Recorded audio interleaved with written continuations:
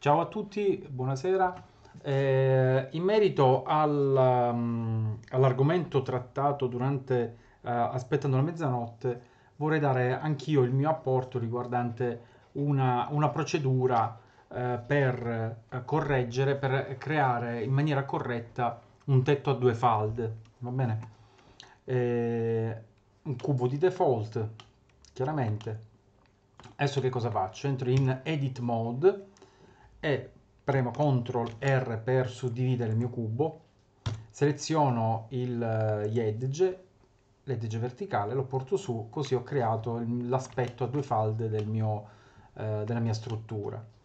Dopodiché che cosa faccio? Con, premendo 3 da tastiera seleziono il, le due facce che formano le due falde del tetto, poi vado a selezionare, a selezionare Extrude Individual e praticamente eh, estrudo eh, in maniera, diciamo così, non, non eh, metrica due, le due falde, va bene? Però è chiaro che si può, si può fare tranquillamente anche con, eh, con, le misure. Adesso il nostro tetto si presenta in questo modo, con questo artefatto centrale.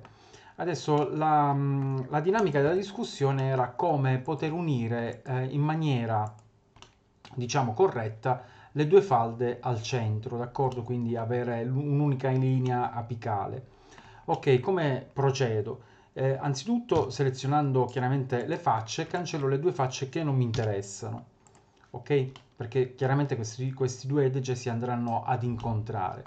Dopodiché eh, seleziono il, lo snap in visualizzazione edge, ok? Seleziono l'edge, premo eh, con, chiaramente con eh, il, mm, la possibilità di muoverlo, eh, clicco per due volte G, ok? E come potete vedere posso navigare lungo l'edge, eh, diciamo, eh, laterale.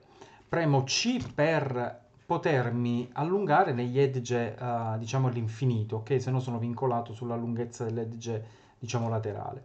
E chiaramente avendo impostato lo snap posso mettere tranquillamente in, in ordine il mio, eh, il mio edge sulla, diciamo, sulla, proprio sulla verticale. Stesso discorso faccio con, con, l'altro, eh, con l'altro edge, premo due volte G da tastiera, poi C per allungare all'infinito le mie rette e praticamente prendo come riferimento, visto che ho selezionato Snap Edge, prendo come riferimento chiaramente l'edge verticale. Ok, adesso è perfettamente collegato. L'unica cosa da fare adesso è chiaramente selezionare eh, i vertici, eh, selezionare tutti quanti i vertici, premere M da tastiera, quindi fare merge, by distance, ok, ci accorgiamo che due vertici sono stati collassati, quindi abbiamo due vertici di qua e due vertici di qua, la, la coppia di vertici in pratica, va bene, dopodiché eh, premendo invio esco e mi, mi, assicuro, togliendo poi lo snap, mi assicuro che i vertici siano collassati,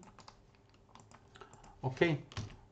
Il, eh, il mio prodotto è completo, è finito, quindi ho risolto il problema del, dell'unione delle mie due falde estruse.